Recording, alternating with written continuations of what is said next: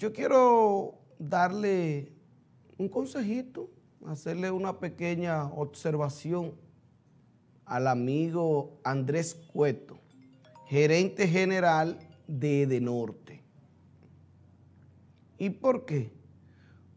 Porque en el play de softball de Sabaneta Las Palomas, el conocido play de softball de la CDE, un play que ustedes saben aquí en Santiago, los que han sido seguidores del softball y de la pelota, que ese era en su momento el único play de softball de la ciudad que se podía jugar softball de noche, porque era el único que tenía luces, el de la CDE, que después CDE, e, e.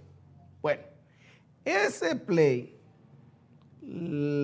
la CDE, cuando se desbarató la CDE y se convirtió en la CDE, e, se olvidaron de ese play. Cuando nacieron las EDES, de norte, de sur, de este, se olvidaron de ese play. La comunidad, los que juegan, los equipos que juegan fútbol en Sabaneta, Las Palomas, acondicionaron el play. Se fueron a Fomper cuando era dirigida por Fernando Rosa y lograron que Fernando Rosa y el FOMPER le volvieran a restablecer el servicio de luces y de energía a su play.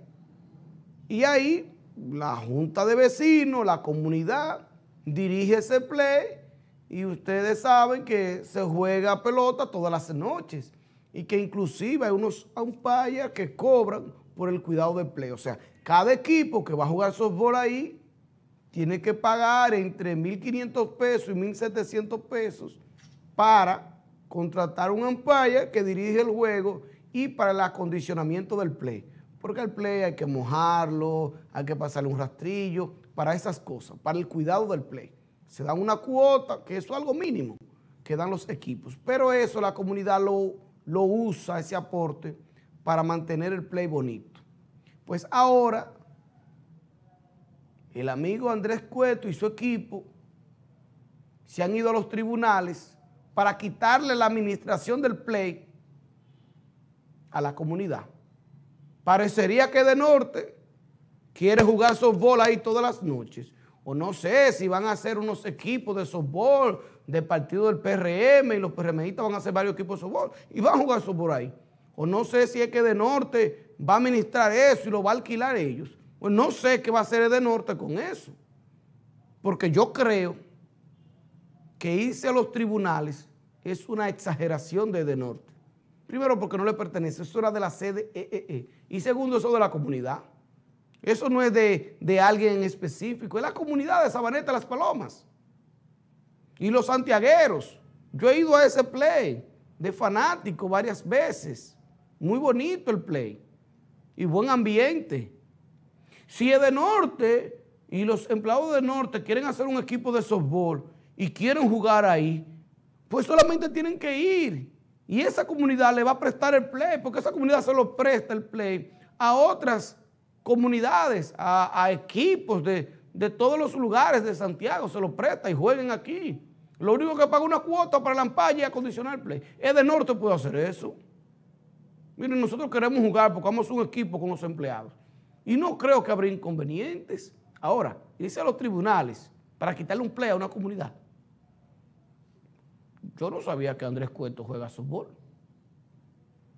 O que el personal que trabaja con Cueto, que lo conozco la mayoría, amigos míos, juegan softball. Desconocía yo eso. No sé qué ganan. La única ganancia es P. Joder la paciencia a la comunidad de las palomas. Es la única. Cueto, desiste de eso. Y además, aunque Sabaneta Las Palomas no pertenece al municipio de Santiago directamente, tú aspiras alcalde de Santiago. La gente tiene que verte a ti como un ente conciliador, una persona de bien que apoya el deporte, no un tipo conflictivo que le quita un play a una comunidad. Porque así tú no vas a ser alcalde.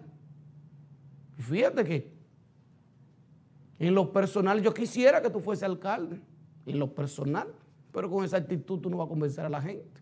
Desiste de esa vaina. Y si fue tu departamento jurídico que se metió en eso, están equivocados. Y si son los empleados que quieren hacer su equipo, que lo hagan y que jueguen. Aquí allá hay muchos play, se juega softball. Y vaya, que esa comunidad los deja. Pero bien, no quiero tampoco hacer de eso un tema.